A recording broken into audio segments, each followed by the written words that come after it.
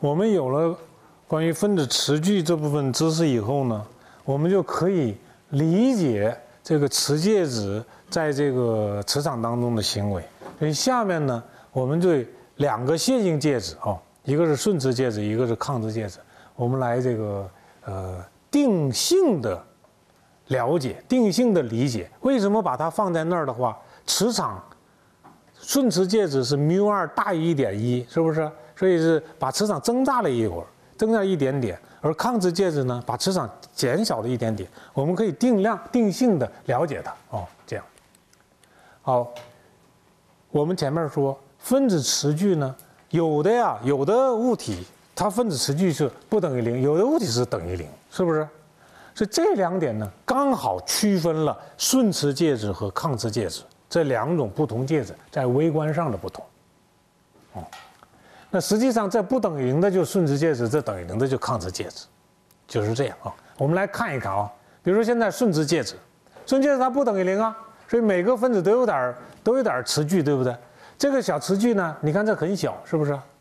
这个小可以产生宏观宏观效应，原因是因为多。对，你这个是负的二十三次方的话，你当然可以知道它会产生效果，对不对？如果它是等于负的呃。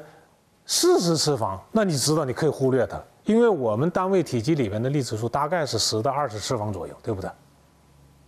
同意吗？就是这，所以这个这这一点，这刚好就是什么呢？刚好就是产生呃可觉察的这个效果。假如说这个物体顺磁介质在磁场不在磁场当中，不在磁场当中，因为分子热运动，所以它这个磁矩啊哪个方向都有。这个，因为我们学过热学，你可以很容易接受。所以哪个方向都有，所以呢，没有哪个方向有特别的磁矩。所以，你要是考虑磁矩产生的磁场的话，对某一点来说，任何一个方向的磁矩，就是这个地方有这个磁矩在这儿产生了磁场的话，你就会找到相应的能抵消它的那个地方产生的磁场。抵消的那个地方位置，一个产一个磁矩产生磁场。因为混乱嘛，到什么样的磁矩都有，对吧？所以刚好呢，它就不产生磁场。可是加上磁场以后呢，你就会发现跟那个电场的情况是一样的，就是说这个磁矩在磁场当中不是受力矩吗？受力矩的话，你你你你用右手螺旋一算，这这一比划你就知道，它是这个力矩是倾向于让磁矩沿着 B 零的方向排。或者是你从能量角度，你它俩一排的话呢，能量最低的；它俩一顺排的话，不是 cosine 是顺排的，cosine 零度是最大的，对不对？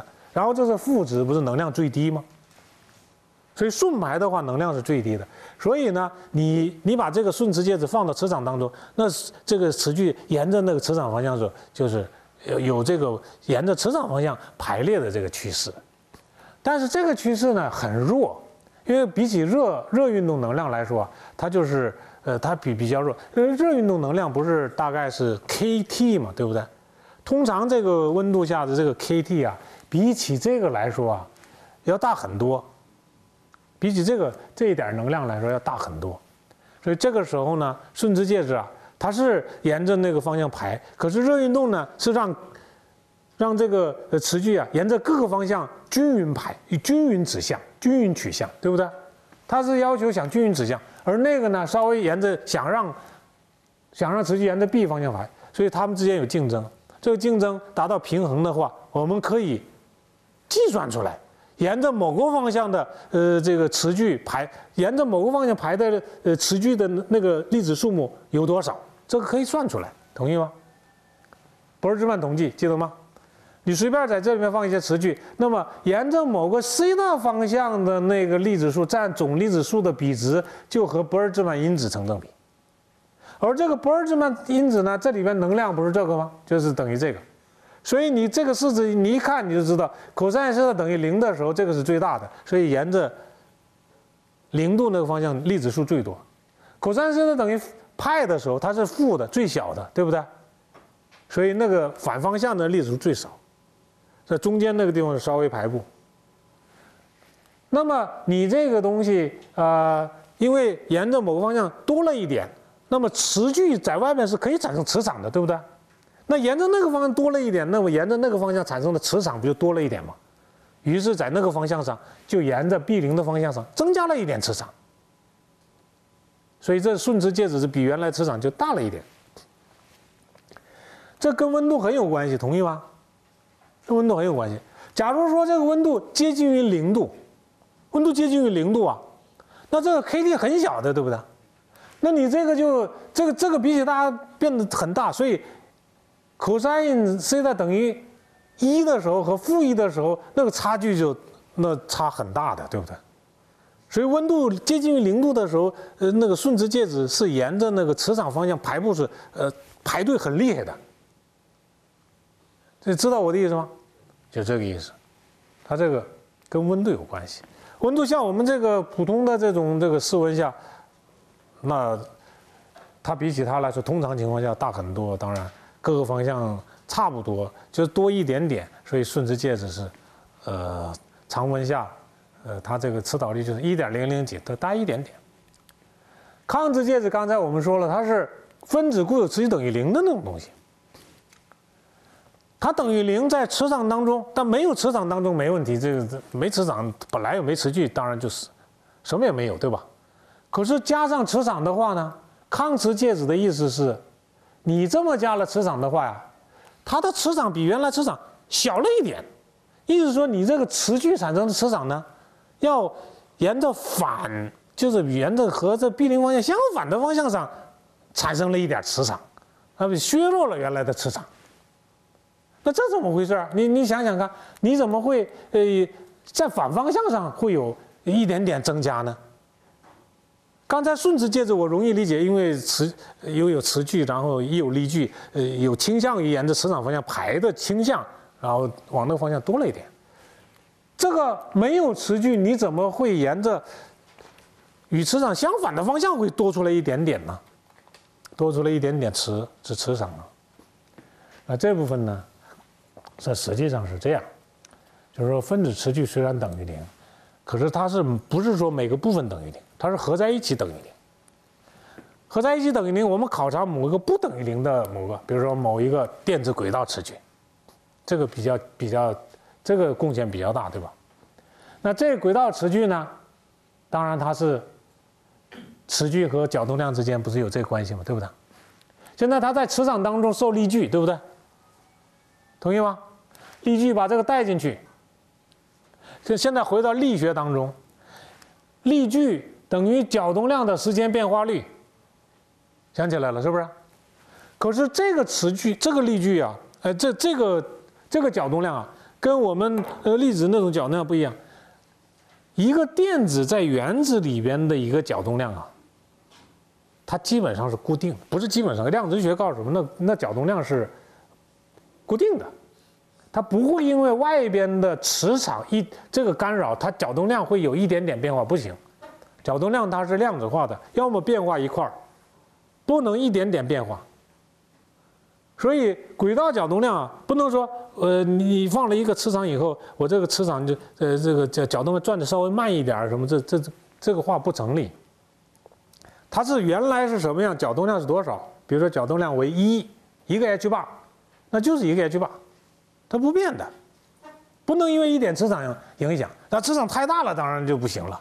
啊那一点磁场不能影响它的话，我们知道一个角动量，它随时间的变化率。如果这角动量本身自己不能变化的话，它这随时间怎么变化呢？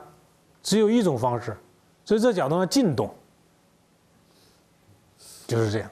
你你记得我们那个，比如说圆周运动的时候，如果一个半径不变，半径不变啊，半径不变的时候的这个。r 的随时间变化率应该是什么呢？欧米伽插上 r，对吧？就进动就是欧米伽插上 r，记得吗？现在这个也是一样的，你角动量，它它自己本身不能变化大小，对不对？所以它怎么变呢？所以还得因为受到力矩，它随时间要改变的，它只能进动。这这这自己本身轨道角动量本身不变，可是这轨轨道角动量要进动，进动角速度，假如说大欧米伽的话，那不就是这个吗？就这样。这个我们学过那个陀螺进动的时候，不也是这个吗？你想想，那个有个东西，然后挂在那儿，然后结果你一放下，那自行车轮子呃这么转，记得吗？这个咱们还做过讨论什么之类。所以现在呢，你这两个一比较，你看，这也圆，这也圆，发现这个进动角速度就应该是这样的，看见没有？同意吗？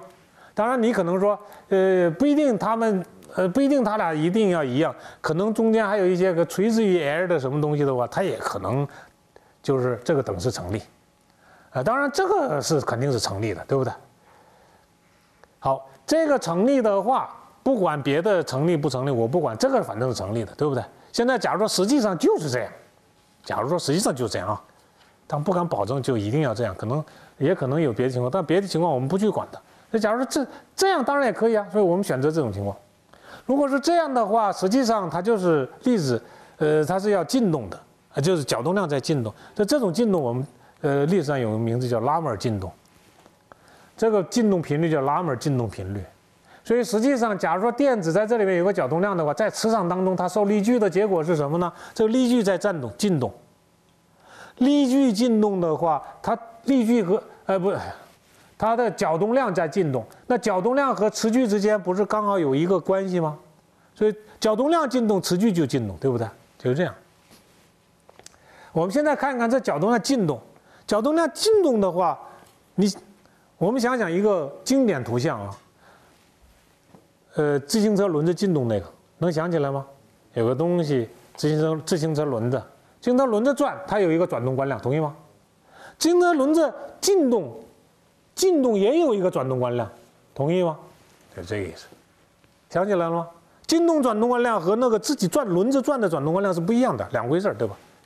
所以你这个进动也有个转动惯量，假如说这是伽马，那好了，进动。角速的角动量就等于角进动角速度乘上这转动惯量，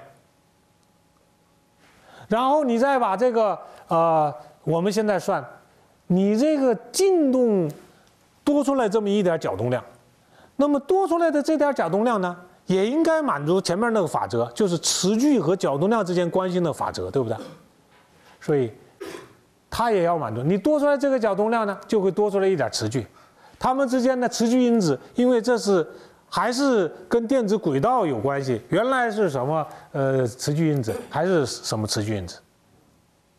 所以现在呢，你把这个把这欧米伽刚才那个负的缪 b 带到这里边，然后这个把这个东西带到进来，负缪呃缪平方了。所以你这个缪不管它是正还是负，一平方它是正的，转动惯量总是正的。所以附加出来的词句总是和外磁场有一个相反的符号，是这样出来了啊。当然，这经典的图像，你不呃就是可结果是正确的啊，结果正确。还有其他的一种讨论方法，你比如说电子在那圆周运动，然后让圆周运动半径大一点儿，什么小一点儿，这这可也也会糊涂也能搞出来这种东西，啊，都差不多啊。总之是结果是什么呢？就是因为有进动，这个进动啊，使得多出来的那点进动的角动量，又对应一个多出来的一个磁矩，而这个磁矩多出来的是刚好和外场相反符号。那么如果磁场是这个方向，你磁矩是这个方向，磁矩产生的磁场沿着轴线是右手螺旋的方向，对吧？就把你原来的磁场方向抵消了一点。所以就比原来的磁场要减的减小一点，所以这就是抗磁性啊，就这么抗磁性就这么来的，是不是？刚才我们说顺磁介质有没有抗磁性啊？顺磁介质虽然说总的分子力分子这个磁矩等于零，可是它不是每个部分也不等于零吗？每个部分不也有进动吗？每个不进动不还有附加磁矩吗？那不还有抗磁吗？那没问题的，有的。可是它比起这个顺磁的那个效果排队的那个效果来说，它小一个量级。你仔细看一看咱们书上那个顺磁介质和抗磁介质啊，你会发现抗磁介质是零点九九九的后边啊，那个那个呃位数啊是五个位数是六个位数，而顺磁介质呢是一点零零零那个吧是三个到四个四个比它要高一点啊，你注意，所以它这个要大一点，所以有顺磁介质的时候，抗磁的这个效果呢就掩盖掉了，也不用考虑小一个量级嘛，所以就不。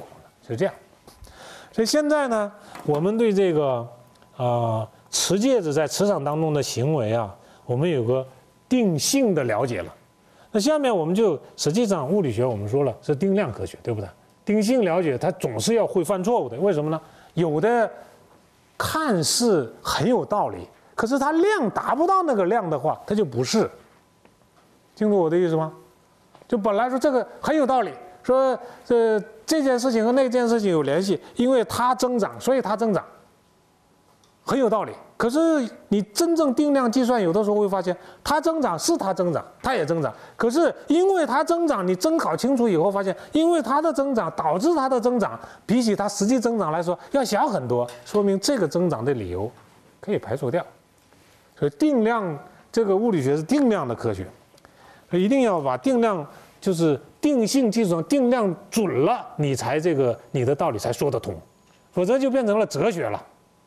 哲学就可以，可以，可以，他们可以说很大的话什么之类的，他不负责任，对吧？不需要有定量东西，所以他这个实际上他这里边的道理好像是对的，但是不见得对，你看这个。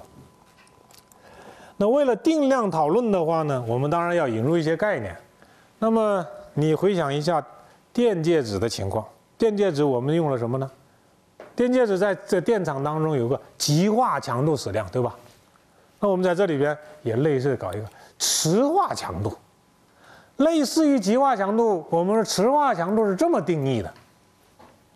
怎么定义呢？就是跟那极化强度一样的，只不过这里边磁矩代替了原来的电偶极矩，就相当于单位体积里边总的磁矩就是磁化强度，就是这样啊。这有用吗？这这这有用，因为极化强度的时候，我们知道那个有用。这个时候我估计我们也我们估计它也有用，是吧？所以这么这么定义。不过为了呃这个方便呢，我们还是引入一个平均分子磁矩，就好像平均电偶极矩一样。什么叫平均分子磁矩呢？就是你在这里边定一个平均磁矩，它是磁化强度比上单位体积里边的分子数。也就是说，你假设这里边呢磁分子啊，所有的磁矩都是一样的，都是这个值，平均值，同意吗？要定义这么个东西。那磁矩呃呃磁化强度等这反过来怎么算呢？平均的乘上粒子数密度就完了，粒子数密度啊，这是单位体积里边的粒子数密度。所以这个呢就是磁化强度矢量啊，m 哦。好，现在我们来看看顺磁介质的情况。顺磁介质这里边磁矩实际上是实实在在的那个分子的固有磁矩，对吧？如果没有外磁场的话，里边的固有磁矩各个方向都有，矢量叠加的结果等于零，磁化强度等于零。有电场、有磁场的时候呢？它沿着某个方向排队，稍微排队一点；沿着哪个方向多一点，这个不等于零，磁化强度就不等于零，有磁化了，对吧？呃，对于这个抗磁子来说呢，你这个磁矩呢，它本来没有固有磁矩，所以你这个磁矩实际上是感应出来的那个抗磁的那个，就附加的那个磁矩，进动进动附加出来的那个磁矩，这个磁矩呢？大家都一样的，在一个相同的磁场里面，大家都一样，对不对？刚才那公式，每个分子都一样，都是和磁场方向相反的，所以那个每个都一样。实际上，每一个附加的那个抗磁的磁矩就是等于平均磁矩，同意吗？是吧？就是平均磁矩啊。所以抗磁介质的时候，那这这个东西就平均磁矩，加出来还是这个，对吧？可是顺磁介质的时候呢，我为了方便啊，我也用这个平均词句。那这样的话呢，所有顺磁介质里边的分子词句全部是分平均词句了。这回你不再是我有固有词句，然后我因为沿着那个方向稍微排队的多一点呢，少一点，不是这么讨论。我假设所有的都是沿着那个方向排队，只不过每一个分子的磁矩是平均磁矩。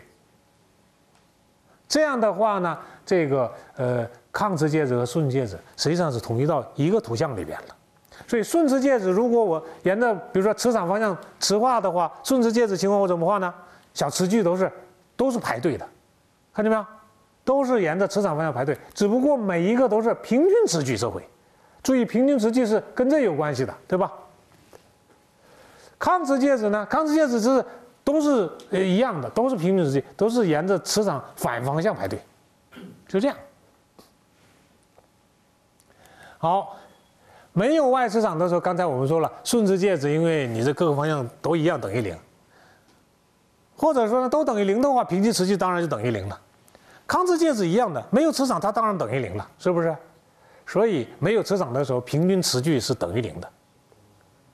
平均磁距实际上它是跟外边的磁场有关系。你磁化成什么样了，那它就什么样了。所以它是跟原来的呃分子的固有磁距关系不大了，几乎没有什么关系。清楚了吗？它磁化成磁化磁化强度矢量等于什么了？那么除以粒子数密度，那就是平均磁矩，就这样啊。现在在外磁场当中呢，当当当然我们刚才说了，呃，顺磁介质都都排队，对不对？抗介质也排队，只不过相反方向排队。每一个磁矩都是什么呢？平均磁矩。好，现在我们举个例子来说，这个是均匀磁化的圆柱体，圆柱体啊，均匀磁化。那么现在你看一看，从这个这均匀磁化了原子体，你从这边看啊，从这边看，那它就是，呃，每一个都是小分子电流，对不对？每个小分子电从这边看的话，就是小分子电流，明白这说？所以你现在这么一看，你就想，呃，这个是这么转电流，这个是这么断转，这个是这么转，这个是这么转，所以你看在接触的这个地方，它是上边的是电流这么转，这下边是呃这个下边是这么转，都是相反的，是不是这样？就是你看这个这些小线圈都是这个小电流，对不对？所有接触的地方，它是这么转，它也是这么转，所以它是这个地方是这么走，它是这么走，两个都是相反的，所以里边这个电流会不会抵消啊？有可能抵消，对不对？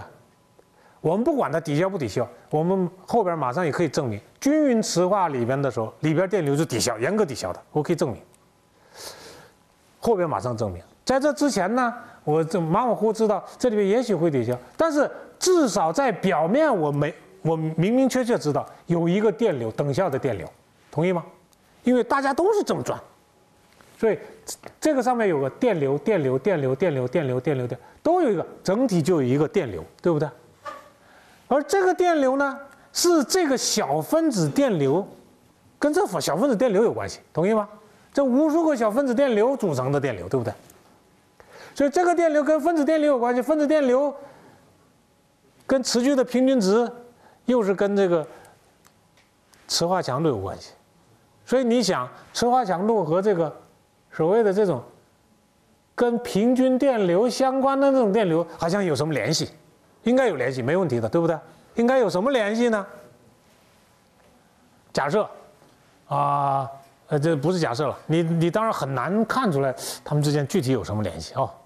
但是呢，呃，我们下面我们这么做，我们说后来大家怎么研究研究发现知道了，他们有什么联系呢？他们有这种联系，就是说磁化强度的这个环路积分呢。就是等于穿过这个磁化墙这个环路的那个电流，只不过这个电流呢是分子电流。假如说这个有有分子电流，这是环路，穿过这个环路的这个电流等于它的这个这个环路积分，就这样。这是我们知道的结果，就好像我们有个安培环路定理，然后后边我们要证明。我现在也是知道这个，我要证明，就是这样啊。当然，这里面这个电流可不是真的电流，因为它是分子电流等效出来的东西，对吧？是无数的小分子电流等效出来的电流，所以它是，呃，在产生磁效应这方面，它是有电电流，这是跟电流是一样的。但实际上，它它不是那种传导电流，不是电电荷的定向，跟那不不不是一个概念。它是这种电流等效出来的哦，就这样。下面我证明这个哈。现在在介质里边，假如说我画一个环路，我想算这个呃 m 的这个，就说环路积分，环路积分不是等于以这个环路为边界，穿过这个环路的那些电流吗？而且是磁化电流，对不对？是分子电流。那那些电流，我说。那些电流是由什么电流构成的呢？你仔细听啊，那些电流是那些套在这些环路上的分子电流贡献出来的。如果它没套上这些环路的话，它对这个刚才我们说的那个电流没有贡献。为什么呢？因为它如果没套的话，你以这个环路为边界做一个什么口袋的话。穿过那个口袋的那个电流，如果它没套住的话，你这个小分子电流永远是要么是和那个面是交接的，相交的地方有进来的就有出去的，贡献等于零，对不对？只有套在这个地方的呢，就是套在这个环路上的呢，就是有一个出来的，进去的是在外边，不抵消。所以我现在要算的就是说，你要想算那个电流贡献的话，就算套这个环路的那些分子电流就行了，同意吗？套这些小环路的这个分子电流我怎么算呢？这个就是我们原来都就是现在你一看就会你会发现又有一个老朋友回来了，为什么呢？因为我现在算。m 沿着这个方向环路的积分，就是把每一段积分算出来就行，对不对？求和就行。每一段我怎么算呢？每一段就是每一段，每一段上分子电流套住 dl 那一段的个数，每一个个数贡献一个分子电流 i，对不对？那么加起来不就行了吗？套住的个数我怎么算呢？这是不是老朋友吗？把 dl 作为一个边，以这个分子电流。平均电流那个电流面作为底面，做做一个协助体，协助体，然后当地的那个磁化强度应该什么方向呢？显然是当地磁化强度是什么方向？你们知道吗？在这里面，磁化强度 m 是什么方向？啊？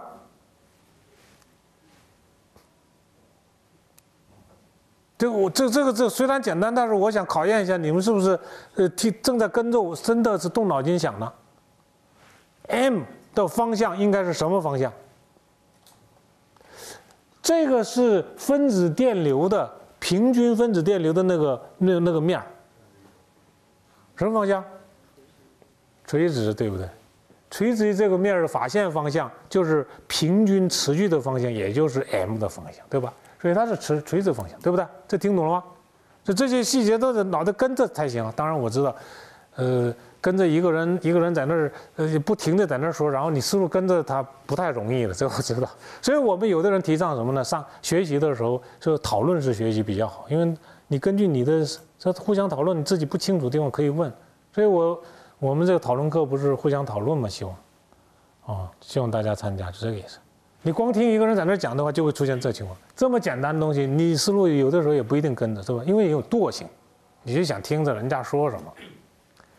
所以咱们呢，啊，还是听的时候要动脑筋啊。呃，有什么问题，假如我哪个地方错了什么，打断我，这是最好的。否则的话，有的时候错了的话，呃，就不好了，录进去了，改不改改不了了。好，现在呢，我们来看一看这个里边。套住这 dl 的这个分子电流有多少呢？因为在这个附近呢，在这个附近，平均持距都是一样的，是不是？这在这附近很小 dl，所以都是这样的面。所以只要这个分子在这个圆柱里边就套住这个 dl 了，在外边就套不住，因为什么呢？它们都是一样大的，明白这是吗？都是一样大的面。在这附近，所以你这个中心在这里边就套住它，你在中心在外边就没套住它，所以套住被套住的个数就是圆柱体里边的分子个数，对吧？这一下你会算了吗？这跟我们以前的做法都一样。所以现在我们算这里边分子有多少呢？分子就是它的体积乘上这个，对不对？密度。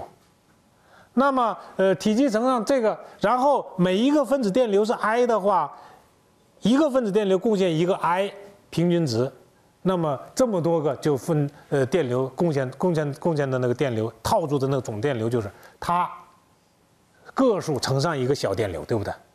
因为你看套住的结果呀，电流的方向都是一样的。你看右手边，对不对？都是一样的，都加起来，所以简单乘法就行了。所以这里边套住的总的电流有多少呢？总的电流是体积乘上密度，再乘上每一个的电流。这体积没问题了，是不是？好了，那这个可是这个乘上这个不是这个乘上这个不是小 m 吗？然后这个小 m 乘上 n 不是大 M 吗？磁化强度吗？啊，然后 d a cos。可是 m dA cos 式的，你看这个不是点击吗？然后就出来了。于是刚才那个，因为这一段电流穿过这个呃 L 的那个电流，就是套住的那个电流，那个电流就是等于这个。那么整个环路积分不就是这个吗？整完了，是不是？清楚了吗？如果不是在介质里边，如果是在介质表面。那有的时候呢，在介质表面的时候，你看，假如说这个是在介质表面的话，你会发现在表面上就会有表面电流出来了，对吧？所以这表面电流密度怎么算呢？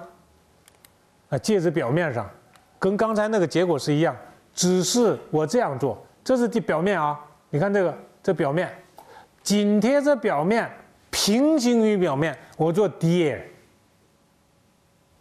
啊，dl，那这一段的呃积分 m 点 dl，我们知道的就是这个上面的这个电流数，对不对？同意吗？可是你这个 m 点 dl 呢？m 是随便这个方向，对吧？所以 m 点 dl，你这个 dl 不是沿着平面，就表面沿着表面，所以沿着实际上 dl 是沿着表面的切向方向。所以你这个点击实际上是切向分量乘上 d l 对吧？可是你你把这个 d l 一除过来，就是你看这个电流，电流都是这样的，对不对？单位长度上 d l 一除，单位长度上的电流不就是面电流密度吗？于是你就知道磁化面电流密度就是这个等于这个，磁化强度沿着切向分量，就是这么简单。可是磁化强切向分量这么写，呃呃这么写这么写没什么问题啊。可是这样写以后呢，你有的人想写的更更拿的数学呀什么矢量啊这更好看一点。再说电流密度本身是矢量，对不对？那我想把这矢量也一块表示出来，怎么办呢？你看这个方向，电流是这个方向，对不对？往进去的方向，对吧？所以电流密度方向是这个方向。现在呢？切向分量是这个方向，对不对？于是你自己一一凑就凑出来这么东西。你看这个 m 的方向和法向方向一插击，不刚好就是电流的方向吗？看见没有？同意吗？插击就是那个方向。插击可是法线和这个的插击是它们的 sin 式的，对不对？这个 sin 式的不就是这个切向分量吗？同意吗？注意，这是法线的方向啊，法线和 m 方向，于是你就知道了，于是这个公式就得到了。于是表面上，呃，这个你只要知道它的磁化强度的话，表面面电流密度你就知道了。当然，我们知道这面电流密度那种等效电流，对吧？这个电流知道了有什么好处呢？因为你这个搞半天，这个不是真的电流啊，这是实际上是分子电流等效的什么什么。等效的总得有用，你才这弄这么用，对不对？否则你等上来等上去，这本身都是搞来搞去都是等效的东西，干什么？实际上它很有用啊。举个例子来说，一个长直螺旋管啊，内部介质均匀磁化了，均匀磁化，所以螺旋管里面无限长，磁场是均匀的，然后里边装满了呃这个磁介质，这个磁介质呢是线性介质，你可以是顺磁介质，也可以是抗磁介质，结果都一样，对不对？顺磁介质和抗磁介质跟刚才里边如果用磁化强度来表示的话，它们俩没什么区别，只是有一个是正的方向，一个是负的方向而已，对不对？现在我们假如说，呃，这里边是一个顺磁介质，假如说顺磁介质的话，那当然你你你这个是沿着磁场的方向磁化的，对不对？顺磁介质不是平均磁矩是沿着那个方向吗？那从这边看的话呢，因为你是这个方向，所以从上面看是这个，对不对？现在它是在均匀均匀均匀介质里边呢，所以这时候你会知道，我们在这里边可以发现，这里边的这个电流是不是都抵消掉啊？里里边的这个电电流是不是都能取抵抵抵消掉呢？就是这个均匀磁化处没有磁化电流，就是说你这里边磁呃这磁化是均匀的话，里边就没有磁化电流。就刚才我们说，你在这里边这这些东西，就是说电流是这么走，这个电流是这么走，抵消抵消抵消，里边的电流磁化电流真的刚好全能抵消掉吗？不是有这个问题吗？如果是均匀磁化的情况下，它是严格的能抵消掉的。我怎么知道呢？因为里边的磁化电流就等于这个，对不对？可是这个不是均匀磁化吗？均匀磁化到处都一样，可以拿到外边，同意吗？于是这个，可是这个等于零，知道没问题吧？因为绕一圈的一个矢量加起来不是等于零吗？所以这等于零，所以里边是没有电流的。里边没有电流。还有一个地方可以有电流，对吧？这表面有电流，表面电流密度应该是面电流密度，你怎么算呢？m 差法线方向，m 是你这个方向，m 是顺直介质这个方向，m 差法线方向，对不对？你一算的话，你就发现，实际上面电流是绕着这个转圈的，而且面电流密度就等于 m。因为法线和 m 的方向是垂直的，sin 的等于一，sin 九十度等于一，所以就是磁化呃面电流密度就是 m，面电流密度 m 的话，介质产生的磁场你怎么算呢？这时候就派上用场了，因为什么呢？你你把这个顺磁介质的这个效果啊，等效成一个表面有一个面电流的这么一个管子了，对不对？可是面电流的管子我们会算的，因为螺旋管螺旋管密绕螺旋管电磁场是等于缪零 Ni，这个 Ni 是什么东西啊？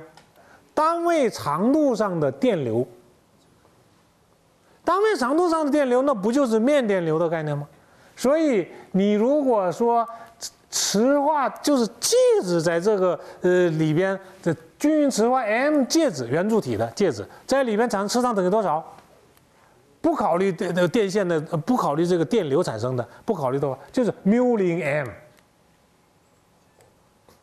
实际上，你在这个里面的磁场是什么呢？就是你的那个呃螺旋管产生的这个缪零 Ni 加上缪零 M。如果是顺磁介质的话，它 M 是顺着 B 的方向增强了一点点。如果是抗磁介质的话，m 是反着 m 的呃 b 的方向，所以减少了一点点，就是这么简单。所以介质，你把这里边的介质磁矩这种东西等效成这些磁化电流以后啊，它问题变简单了，清楚了吗？我有一种。啊，就是比较物理上比较准的、正确的，呃，概念也是正确的，然后做起来也是正确的做法。这里边有你，我不这不用这种模型做，我可以用真的那种，呃，真的做法，可以把这个介质产生磁场算出来。我算过，就是等于这个。怎么算的呢？这里边不是呃磁距一点，每个磁距都排排队吗？充满了磁距，对不对？每个磁距产生的磁场，比如说我算中心某一点的磁场，我能不能算出来？磁距产生磁场不是有公式吗？四派缪零，呃，然后那个 P，然后负三倍的什么比较复杂的那东西，你把那个东西每一个地方产生的磁场这个这个这个叠加叠加，在轴线上的那个积分你可以算出来，你算出来结果就是等于这个，这我算过的。那个时候我比较想是让学生知道这样算才正确，就是只有把词句的贡献叠加起来才是最正确的。我当时这么想，因为什么呢？概念上它是对的，因为概念上就每个词句产生的磁场的贡献，而这个呢是个模型，模型呢是很巧妙的把那些东西啊等效掉了，就等效成一个外面的一个面电流密度，然后很容易得出，根据你已知的结果，很容易得出来这个结果。可是我现在越来越倾向于这种方法，因为我现在越来越发现呢，物理里边呢。